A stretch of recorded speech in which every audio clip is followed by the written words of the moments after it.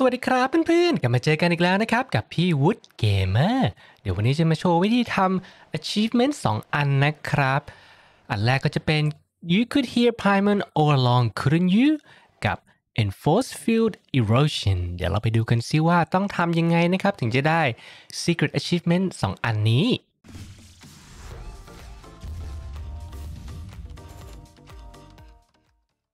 โอเค เดี๋ยวเรามาทำอาชีพเมนอันแรกกันก่อนนะครับ you could hear Paimon all along couldn't you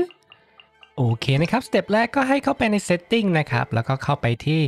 ปรับเสียงนะครับ แล้วก็ปรับระดับเสียงสนทนานะครับ แล้วก็ลดปรับเสียง แล้วเราก็จะได้ยินเสียงไพมอนพูด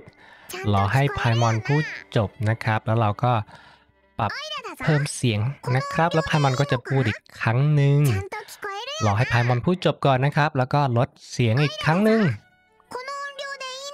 พอพายมอนพูดจบแล้วก็ปรับให้มันขึ้นไปอีกครั้งหนึ่งนะครับ แล้วเราก็จะได้ achievement นะครับ ถ้าทำอย่างนี้ถูกต้องทำประมาณ 4 ครั้งก็จะได้ achievement นะครับ achievement อันที่ 2 force field erosion นะครับ เราจะต้องมาสู้กับบอสไฟฟ้าตัวนี้นะครับ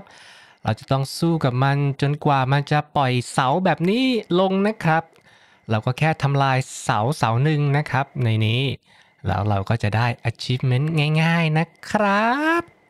โอเคนะครับเพื่อนๆ ถ้าชอบคลิปนี้ยังไงก็ฝากกดไลค์ กด subscribe ด้วยนะครับ เอาไว้เจอกันคลิปหน้านะครับ Have fun everybody bye bye จุ๊บจุ๊บ